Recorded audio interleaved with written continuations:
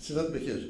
Baba adı Ahmet, annenizin Meryem, doğum 1971 Sakarya Çaybaşı Yeniköy. nüfusa kayıtlı olduğunuz yer Sakarya Çaybaşı Merkez. Yeniköy. Çaybaşı Yeniköy. Evet efendim. Nüfustan kayıtlı.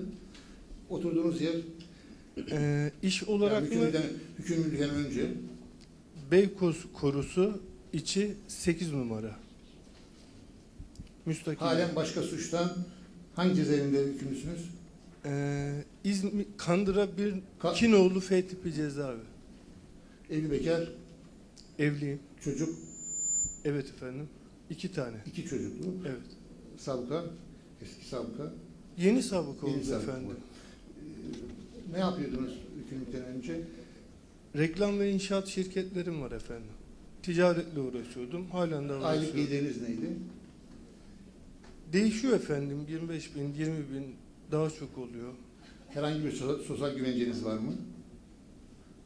Yani Sigorta Bağkur, SSK gibi işveren olduğumuz için şirket Bağkur- sahibi otomatik olarak bağ Bağkurlu? Evet efendim. oturun. Teşekkür ederim.